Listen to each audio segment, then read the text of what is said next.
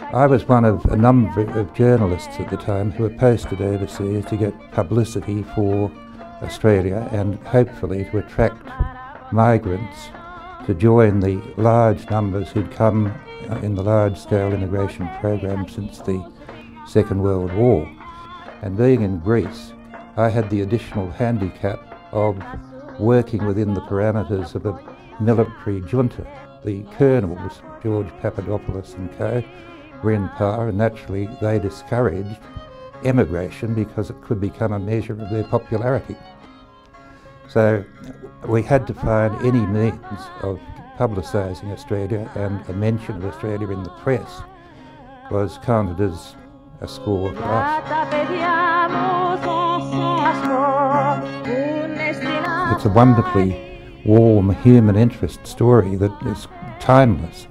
But to understand how it came to be made, we have to go back to 1972 and find that Arthur Frelinghus, then 72 himself, was coming back to Greece, to the island of Kythera, to meet his sister for the first time. We came, came to Kythera a week after Arthur had actually arrived, and because the ferry boat only came in once a week, we had to hire a fishing boat, which you see in the film.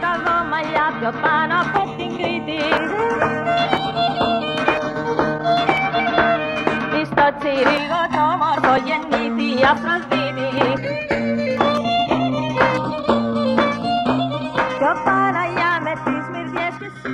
of all, we had to go up on the mountainside and capture a goat, shove it in the boot of the island's only taxi that we'd commandeered for getting around the island, and pass it over to the chef for the feast the next day.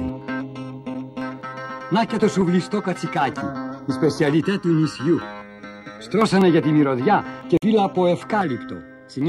This feast was quite remarkable, and then a wonderful thing happened. A very old woman started to sing, just spontaneously, and she was singing songs about the island of Aphrodite, which is Kythera.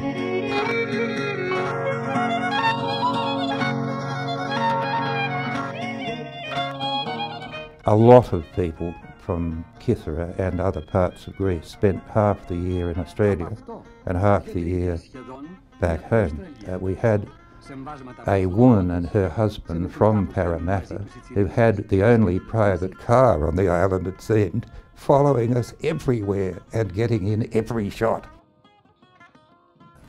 Mysteriously, someone knew the Deputy Prime Minister Pattakos and that enabled us to put this film on as the lead-in to the opening ceremony of the 1972 Munich Olympic Games. So I would say just about everyone in Greece saw this film when it went to air. I saw it with a group of about 20 Greeks and I was quite quite moved myself to find at the end of the film they were all crying.